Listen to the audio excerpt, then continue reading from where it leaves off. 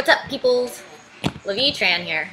I just received some awesome t-shirts from the brand The Sexy Kids Revolution, and I am about to shoot for those t-shirts. And to see more photos of them, you can check them out soon at thesexykidsrevolution.com from Germany. Excited to wear these fancy shirts. Look at my hair.